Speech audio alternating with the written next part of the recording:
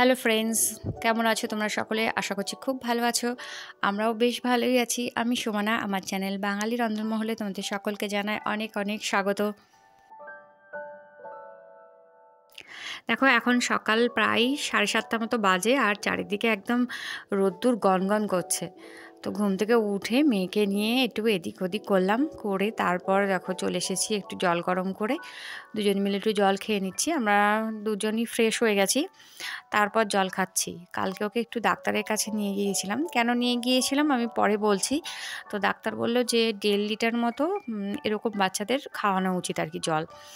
তো দেড় লিটার সত্যি কথা বলতে কি, অতটুকু বাচ্চার দেড় লিটার জল খাওয়ানো খুবই টাফ তো তো আমি চেষ্টা করছি যে বারে বারে অল্প অল্প করে যাতে একটু জলও খেতে পারে বেশি পরিমাণে। এমনিতে ও খুবই জল খায়, কিন্তু তবুও নাকি ও জল খাওয়াটা কম হচ্ছে। তো দেখা যাক কতটা জল খাওয়াতে পারি। তো একবারে তো বেশি খেতে পারে না সেই জন্য অল্প অল্প করে চেষ্টা করছি। সকালবেলা থেকেই লেগে পড়েছি ওকে জল খাওয়াতে। তো দেখো, ওর দুধটা ফুরিয়ে গিয়েছিল হাজব্যান্ডের রাত্রে নিয়ে এসে, তো আমি এখন ভরে নিলাম। নিয়ে ওকে একটু পিডিয়াশিওর দেবো। তো এখন এটাকে ওকে খাইয়ে, তারপর আমি নিজে খেয়ে, তারপর ওকে একটু পড়তে বসাবো। তো কালকে যেহেতু ডাক্তারের কাছে গিয়েছিলাম, কালকে ওর আর পড়া হয়নি সন্ধ্যাবেলাটা। আর এখন না, এত যেহেতু একদম ছোট, তো একটা নিয়মের মধ্যে থাকাটা খুবই জরুরি। কতটা পড়ছে সেটা বড় কথা না। আমি ঠিকমতো নিয়ে বসতে পারছি কিনা এটাই হচ্ছে বড় কথা।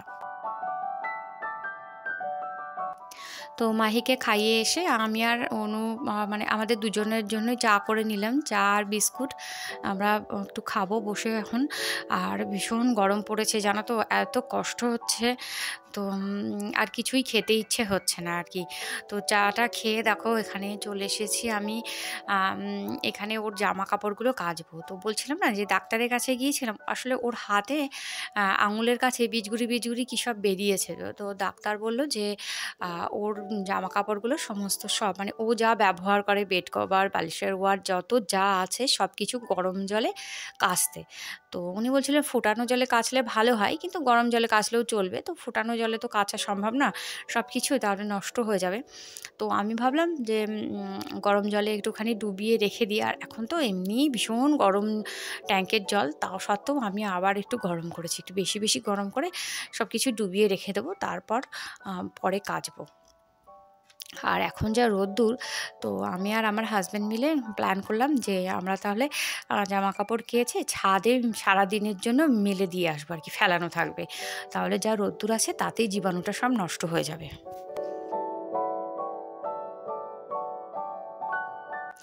আর এখানে দেখো জামা কাপড়গুলো ভিজিয়ে আমি ওকে পড়াতে চলে এসেছি। আর এখন মানে ও না লিখতে চায় না একদম। আর এত চঞ্চল তো মানে একটা স্থির হয়ে যে ওকে লেখাবো সেটা করে না। একটুখানি করে লেখে আর বলে, আমার পড়া হয়ে গেছে, আমি কেন লিখব? আমাকে ছুটি দিয়ে দাও। তো খুব ধৈর্য ধরে পড়াতে হয়। আর আমি না মানে ধৈর্যটা হারা, যেহেতু খুব ছোট এখনই যদি ধৈর্য হারিয়ে ফেলি, তাহলে ভয় পেয়ে যাবে আর পড়তে চাইবে না। তো যাই হোক, ওকে বেশ খানিক্ষণ ধরে পড়ালাম। মাঝখানে একটুখানি ছুটিও দিয়েছিলাম, যাতে একটুখানি ঘুরে টুরে এসে ওর মনটা ভালো লাগে। তারপর জামা কাপড়গুলো কাচলাম, সমস্ত সব আজকে উপরের বাথরুম কেচেছি। কেচে দেখো এখানে একতরফা নিয়ে এসেছি, আরও কিন্তু একতরফা আছে, সেটা আমি পরে কাচবো। সেগুলো সব পরনের জামা কাপড় ওর, সেগুলো আর বেশিক্ষণ আমি ডুবিয়ে রাখিনি। তো ভাবলাম বেশিক্ষণ তো ডুবানো যাবে না, অনেক নতুন জামা কাপড়ও আছে তো এমনি ডেলি যেগুলো ইউজ সেগুলো অনেকক্ষণ, অনেক বেশি গরম জল দিয়ে আমি ডুবিয়ে রেখেছিলাম। দিয়ে মেলে দিয়ে এসে নিচে চলে এসেছি। আর আজকে বেশ বেলা হয়ে গেছে, জানো তো? প্রায় সাড়ে দশটা মতো বাজে, তখন আমি এখানে এসে রান্না চাপিয়েছি। তো হাজব্যান্ড বলল যে হালকা পাতলা কিছু রান্না করো, খুব বেশি রান্না করার দরকার নেই। তো এসে আমি এখন টক ডালটা করছি, একটা ডিমের পদ করব আর একটু আলু ভাজা করব। এই হচ্ছে আজকে রান্নার প্ল্যান আর ছাদে যখন গিয়েছিলাম না, পাটা পুরো পুড়ে যাচ্ছে যেন না। ছাদে পা দেওয়া যাচ্ছে না, মনে হচ্ছে একটা চটি হলে ভালো হতো। আর মাথায় যে মানে মনে হচ্ছে যে উনুনের ধারে বসে আছি। এত বিশ্রী রকমের গরম মানে এত কষ্ট হচ্ছে বলে বোঝাতে পারব না। তো রান্নাটা দেখো আমি চাপিয়ে দিয়ে এখানে চলে এসেছি। আর ওর যে বালিশের ওয়ারগুলো আছে, এইগুলো আমি খুলে আলাদা করে রেখে দেবো। এইগুলো আর আজকে কাজবো না। কারণ অলরেডি অনেক কিছু কেচে ফেলেছি।